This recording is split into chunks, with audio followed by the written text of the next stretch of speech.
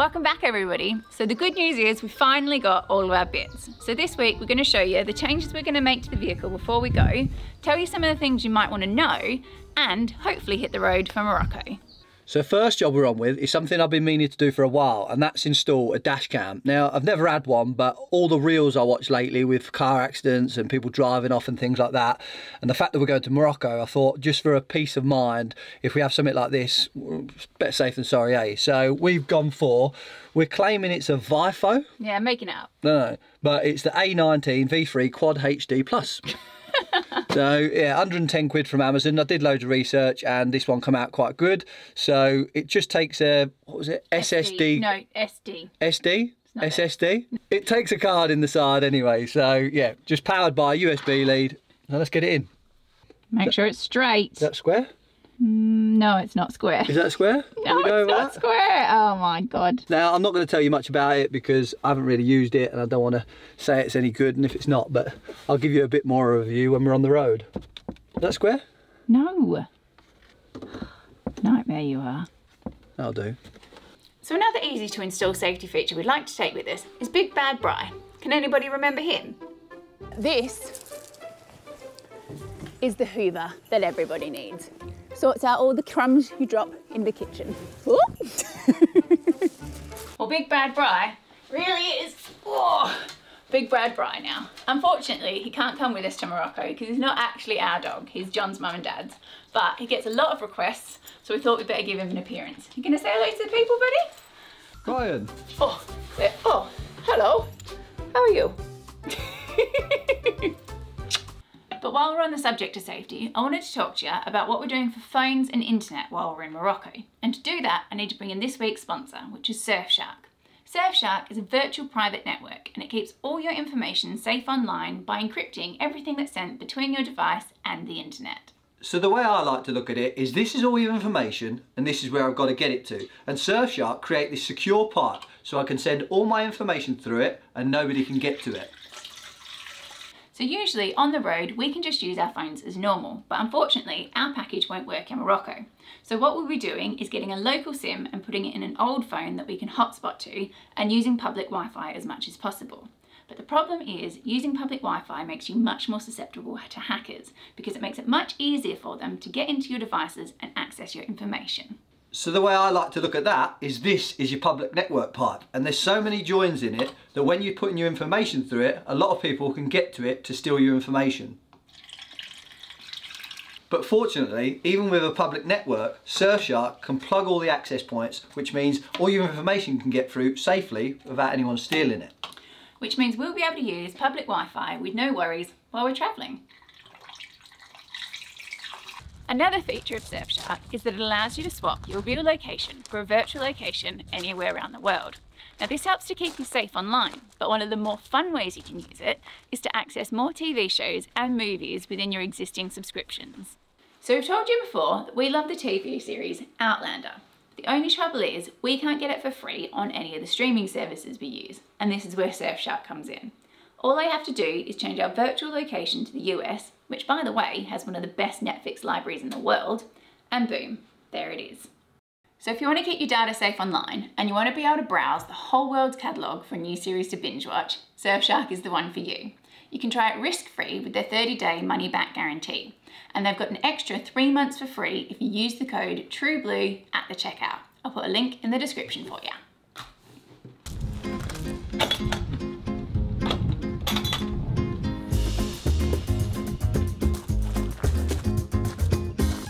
So thankfully, the vital supplies have arrived to keep the General happy.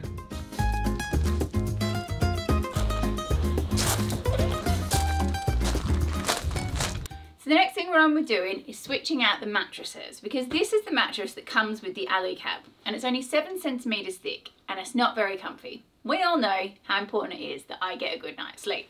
So we're switching it out for this mattress, which is still only 11 centimeters thick, but it's the same one that we used in the Sainsbury's build, and it is so comfy. So let's get this bad boy cut down and put in. I tell you what, this is the new way we're always going to cut mattresses from now on. Absolutely brilliant.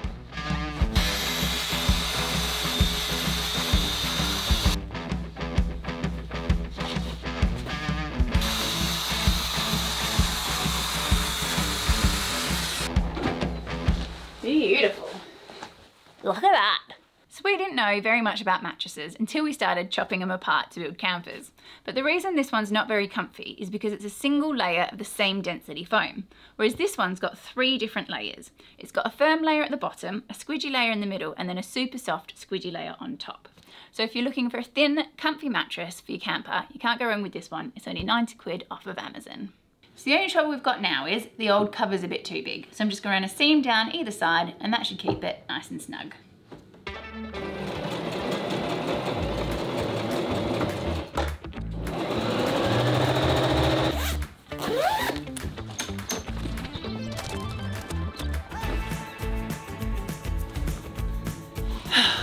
that is so much better.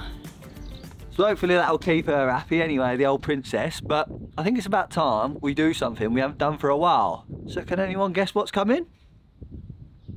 Bit of triple T. Tool Talk Tuesday. So this one I've been meaning to speak about for a while. It's one of my favourite tools I've got and also one of the cheapest as well. Now this is a plastic welding gun and they're only about 25 quid from Amazon. Brilliant little bit of kit. But basically, if you've ever got two bits of broken plastic, like maybe a fairing or like a wheel arch or anything plastic, what you normally do to, to repair it is you'd get a soldering iron, wouldn't you? And then you'd use the soldering iron to go along the plastic and sort of like melt it together, which sort of does the job, but it doesn't last very long and doesn't stay very strong. So what you get is you get these little things. Now, these are tiny little metal clips and you get loads of different star ones as well with the kit. And then all you do is you just slot it in there.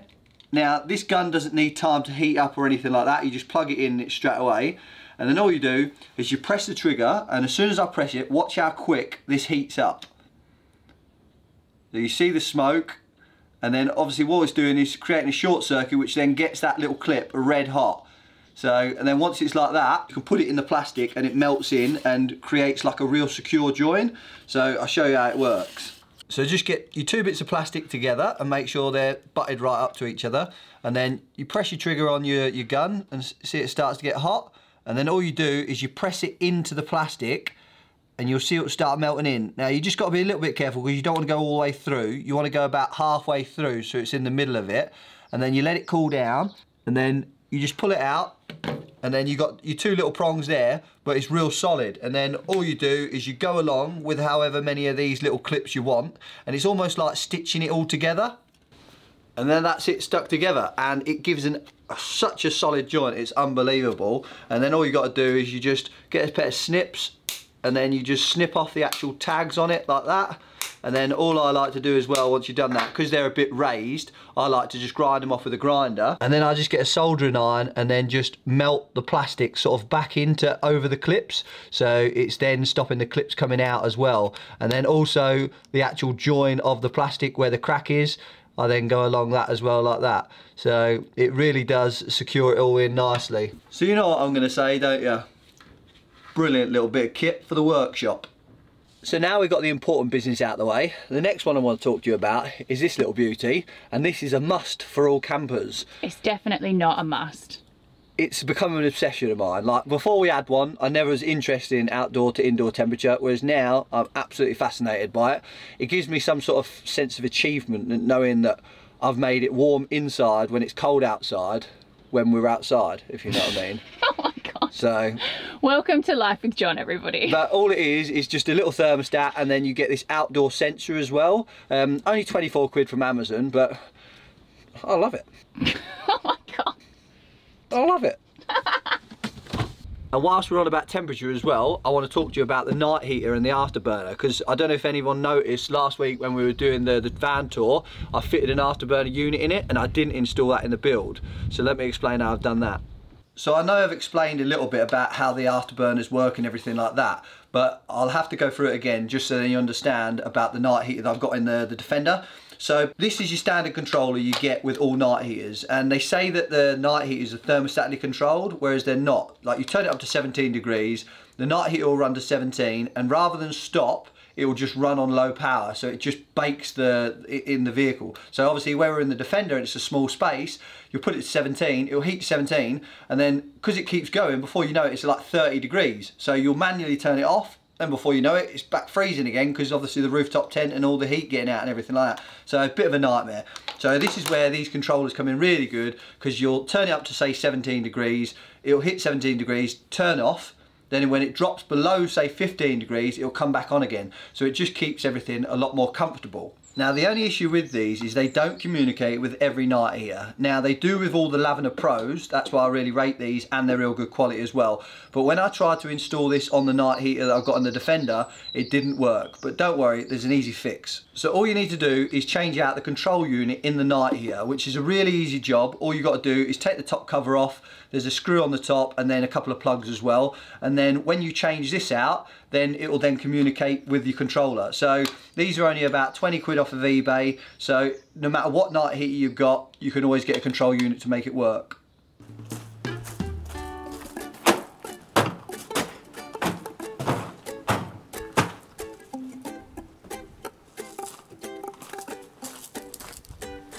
It's time for a bit of Tetris. I think we were a bit spoilt in the old Sainsbury's van with how much space we had, but now I need to get this into this. Wish me luck.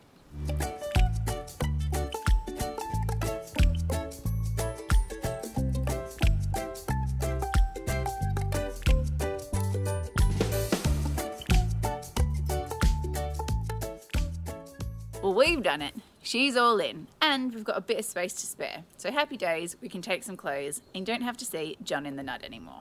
But best bit is the last piece of the puzzle has just arrived. So I'll get Jon to show you that little beauty. Now this is what we've been waiting for. So this is a spare wheel carrier for the spare wheel on the door. Now when I built the camper I had a lot of people message me and say with all the weight of the wheel on the door, when you're going off-road it can break the hinges, it can break the panel, it can even break the door. So I had a look round and there's a few different models about. This is the most expensive one an eye-watering 720 quid, but I definitely think it's the best on the market. So I'll show you why I think so.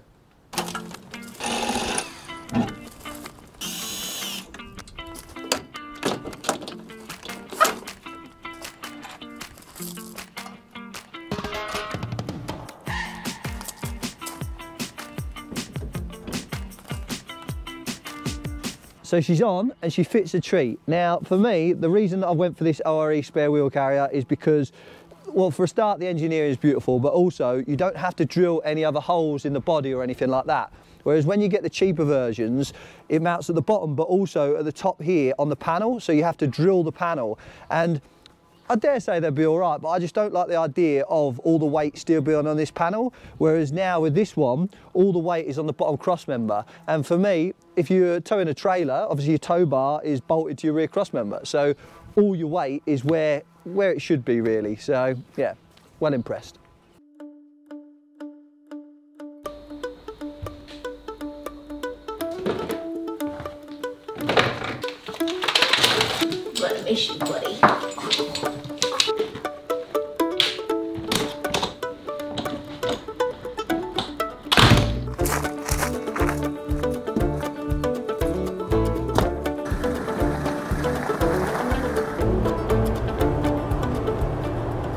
On the road again. She's always stealing my thunder. She just said to me, can I do the on the road again thing? You always do it. I think I do it better, don't you? Anyway, what do you think of my hairdressing skills this week?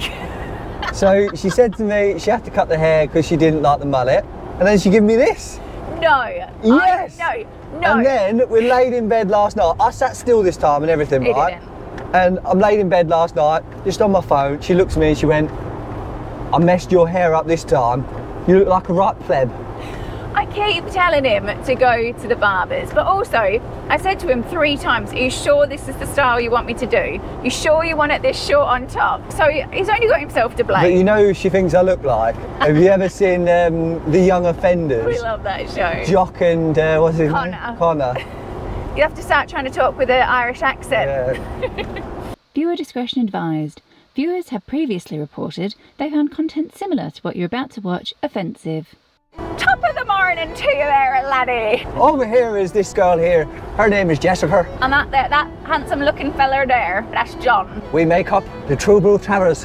and we're travelling around in our Defender and we're off to Morocco. Why do you sound like like a pirate. Jon's the kind of fella, he'd do anything for a friend like, except he don't got no friends. This is the kind of thing what happens when we've got a long drive to go. But we is best friends.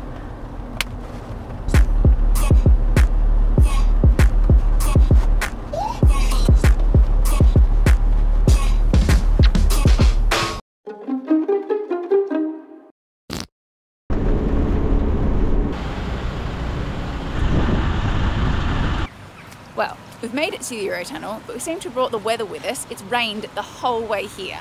But I'm already missing the sprinter because I need a wee and Jon doesn't want me kicking in in the head, climbing over the top. And he's told me on this trip I've got to make more use of public restrooms. Not sure how I feel about that one, but going into the Le Shuttle terminal building for the first time. And Jon says I have to give you a toilet rating, so I'll be back in a minute.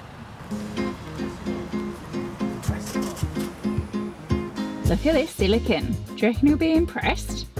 These toilets, posh.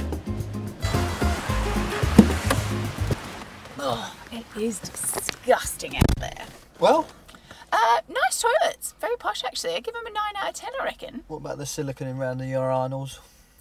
But in the men's toilets, funnily enough, didn't check those out. Bonjour. Merci beaucoup.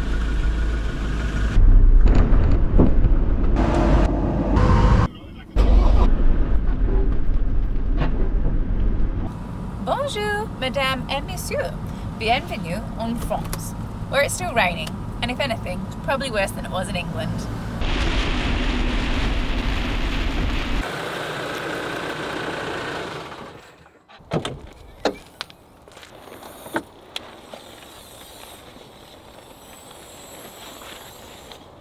We've knocked a couple of hours off our journey south and we've made it to a place just outside of Rouen, I think it's called.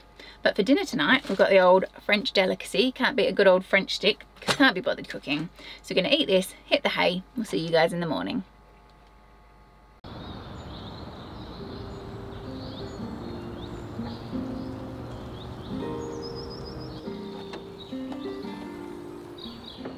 We're back, baby. We're back.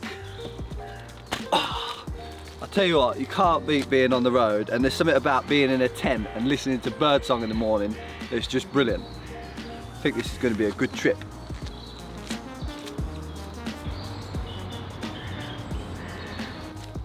I think we best get the general up. Well, I am a happy little princess. That mattress was well worth the wait. We had such a good night's sleep. But I've just realised we haven't told you what the plan is. So let's hit the road and I'll tell you what's going on.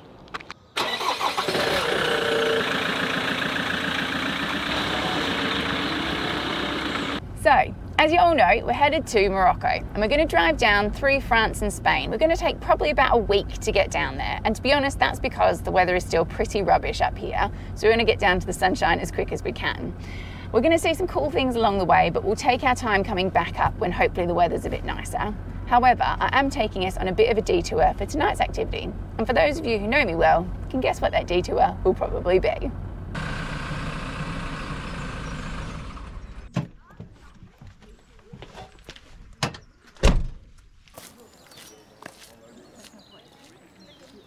So we've made it to the first stop, And have indeed. Chateau. Uh, D something that I will put in writing because I can't pronounce it. I'll show you on the map. I thought you were learning your French. Yeah, no, not enough to pronounce the name of this place. But um, what I love about France is no matter how many times you come, there's a million chateaux over here, so you can see a different one every time. Yeah. But and um, there's so many that aren't even on the tourist trail as well. Like you were driving along, like, oh my god, look at that, look at that. It's so cool. Look, I've got a bone to pick with you lot again. Just put a story on the Instagram. Somebody said to me, loving the bowl cut. I don't know what you mean. Why would you look outside yourself when you have all of the world inside? One, two, three, four.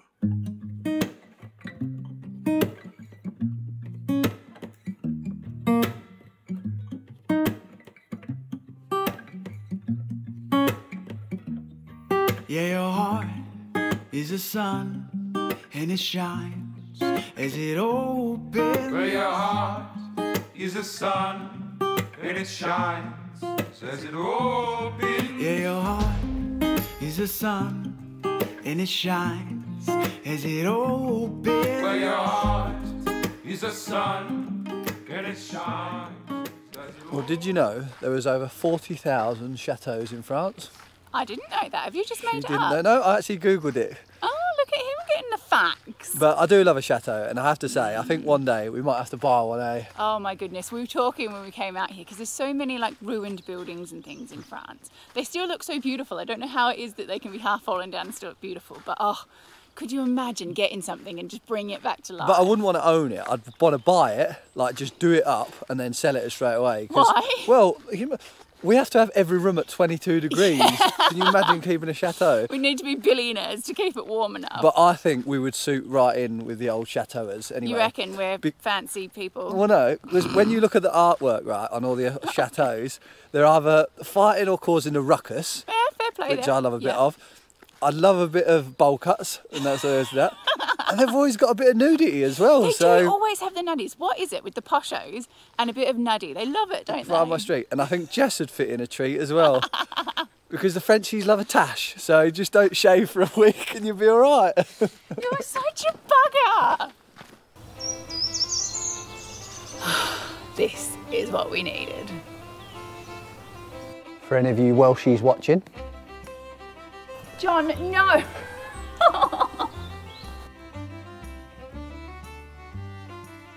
oh yes, now we're talking. You know why uh, I think you'd fit in with the Frenchies a bit as well? Because I like baguettes, No, pastries, no. mm, cheese. Well, you do, but none of them, Why? because they spend their life going wee wee, wee wee. oh my god. That is one of your worst dad jokes. Go on, the dad joke. and I've been getting a bit of stick lately as well, because I haven't been doing my jokes. So Oh God, here we go. I've got one for you. Are you ready You've for just this? done a bad joke. Do we really need another one? What's the difference between light and hard? Light and hard. Well, one. I don't know what. I can sleep with the light on. I don't get it. I don't understand. Because I can't sleep Oh with my God. I was thinking as well, the old chateaus and defenders got a lot in common. The roofs cost a fortune, they're always springing leaks, constant maintenance, but they look the part.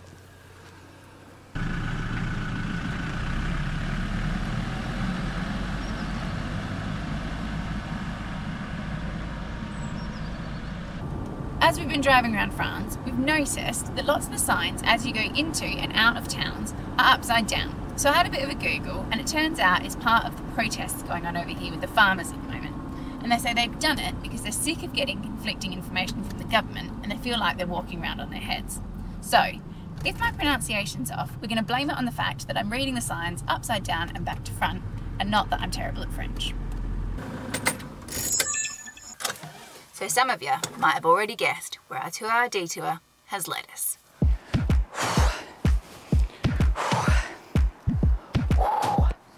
This is the Grill Inn, and it's my favourite restaurant chain in the whole world. Just so happens to be an all-you-can-eat buffet. I haven't eaten all day in preparation for this. I'm so hungry, I can barely see. I've had to be on best behaviour today because we've just not eaten all day, she told me her patience is as thin as her waistline. We've got some business to attend to. Give me five. Okay, maybe give me 20. I can talk to you now. I can't breathe because I'm so full, but I can talk to you now. If you ever come to France, you absolutely have to come to one of these. It works out about 20 quid a person and it has the widest selection. So it's got your like usual ready-made bits and salad bar, but the cake selection, particularly being France, is absolutely beautiful. Then there's ice creams, like there's an ice cream parlour, and even sweets and stuff as well. But you can even get like steak and they freshly cook it, or you can have noodles where you select everything that goes in it and they freshly cook it on the grill. It is absolutely banging. But I think we're going to have to leave you there because I'm about this far from a food coma, so we need to find a park up. Hopefully, we'll meet you guys in Spain next week. But don't forget about the Surfshark link in the description, or you can click this QR code just here.